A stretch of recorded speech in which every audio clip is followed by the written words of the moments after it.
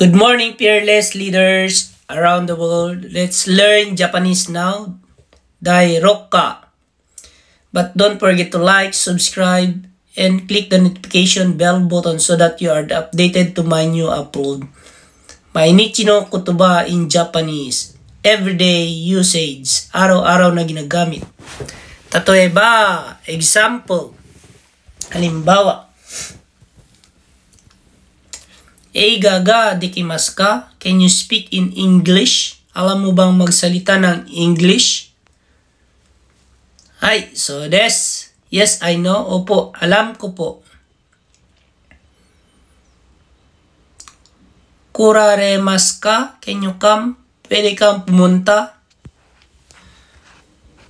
Doso o kudasai. Please sit down. Maupo ho kayo.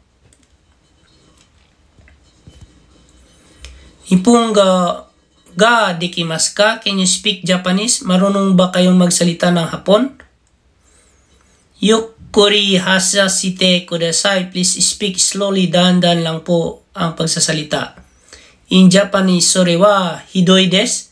It's pretty tough. Mahirap ito. Sore wa ikimasen ne. That's too bad. Napakahirap nito. Onamai wa mai kara kiite orimashita.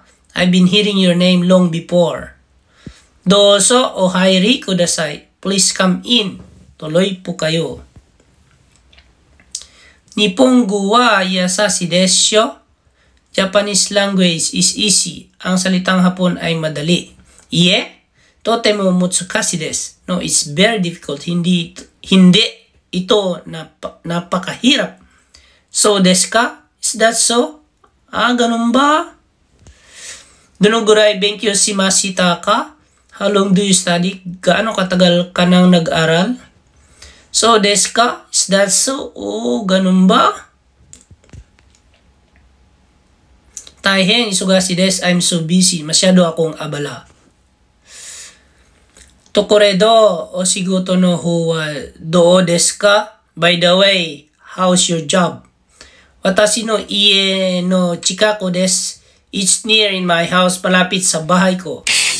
Please subscribe to my channel.